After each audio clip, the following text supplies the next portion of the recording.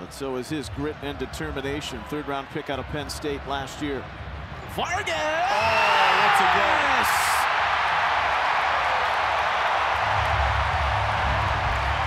Finally finds his finishing boots. Kerwin Vargas puts the crown in front.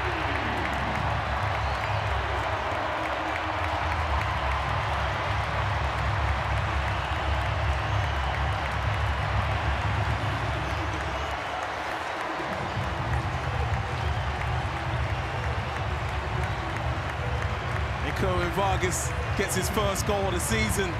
Talked about his XG, talked about he's had a few chances. Well, this will feel really good for the young man, the 22-year-old. He's out here on that left wing, but watch the way he gets involved with the play. Copetti goes up and watch his run. Almost like he knows the ball's gonna come. He gets there first, really good contact, hits it into the ground on the half volley.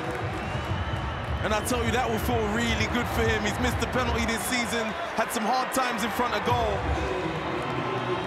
And that's a good finish into that corner, shooting through legs. 1-0 Charlotte. In a mini milestone game,